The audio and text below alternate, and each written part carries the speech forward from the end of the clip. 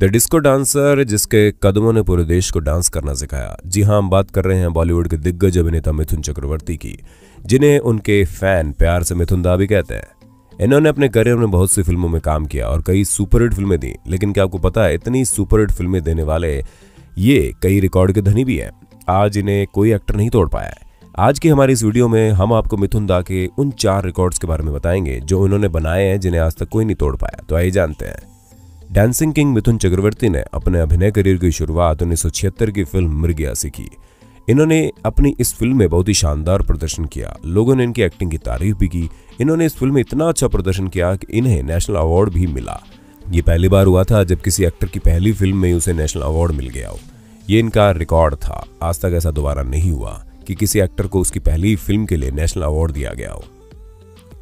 अगर बात करें इनके दूसरे रिकॉर्ड की तो आपको बता दें कि इनकी ही फ़िल्म डिस्को डांसर ने पहली बार 100 करोड़ की कमाई की थी।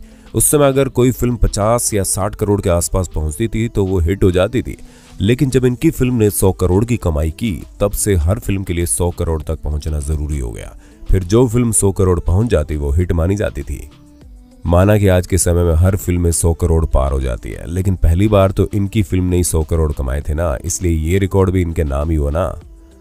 बात करते हैं इनके तीसरे सबसे बड़े रिकॉर्ड की। उन्नीस सौ अट्ठानवे में इन्होंने करीब 19 फ़िल्मों में काम किया, जिसमें से 18 फ़िल्में रिलीज़ हुई और कुछ हिट रही, कुछ फ्लॉप रही, लेकिन एक साल में इतनी फ़िल्में करना कोई आम बात नहीं है।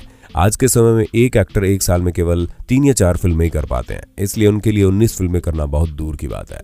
ये केवल मिथुन दाई कर सकते हैं, जो आज तक एक रिकॉर्ड बना हुआ है।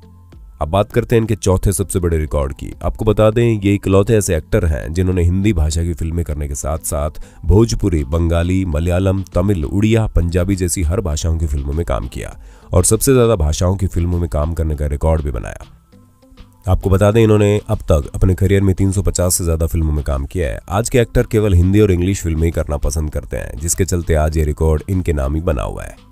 तो दोस्तों, आपको इनके चारों रिकॉर्ड में से कौन से रिकॉर्ड के बारे में जानकर हैरानी हुई, आप हमें कॉमेंट में बताइए ना। और बॉलीवुड से जुड़े और भी बातों को जानने के लिए हमारे चैनल को सब्सक्राइब अभी कर डालो।